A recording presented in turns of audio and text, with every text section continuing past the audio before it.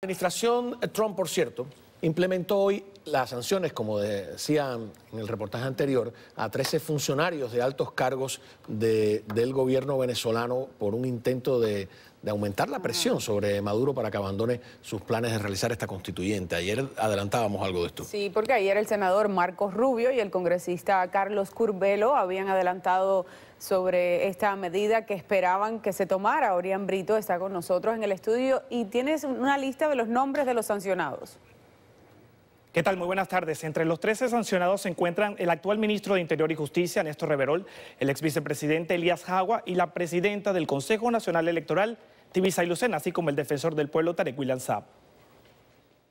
En un nuevo intento por bloquear el empeño del régimen de Nicolás Maduro de imponer una asamblea constituyente, la administración Trump anunció sanciones contra varios altos funcionarios del chavismo, a quienes se les revocará no solo la visa que les permite ingresar a Estados Unidos, sino también se les congelarán los activos que puedan tener en el país.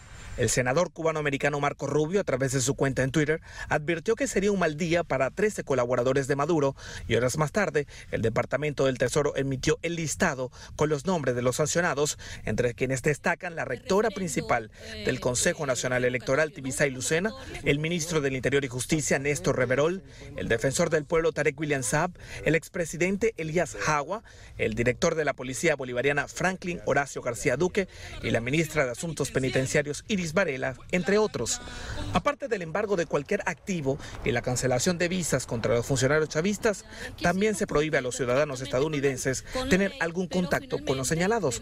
El ex vicepresidente venezolano Elías Jagua, uno de los señalados, reaccionó a través de su cuenta en Twitter, donde comentó, gracias a Dios, nada material tengo que perder en ninguna parte del mundo. Ahora más que nunca, seguir luchando por la alborada del socialismo. Por su parte, el senador republicano Marco Rubio advirtió, el presidente Donald Trump prometió sanciones a los que repriman y violen los derechos humanos del pueblo venezolano. Más sanciones si Maduro prosigue con el voto ilegal. Esta es la tercera vez que la administración Trump toma este tipo de medidas en la estela marcada por el expresidente Barack Obama. El presidente republicano se plantea, no obstante, ir más allá y sopesa suspender las importaciones de petróleo desde Venezuela, del que es su mercado principal. Y desde que Trump llegó a la Casa Blanca, Estados Unidos ha sancionado al vicepresidente venezolano Tarek El Aizami, incluido en la lista como narcotraficante, y a ocho miembros del Tribunal Supremo de Justicia en mayo pasado. Seguimos con más información.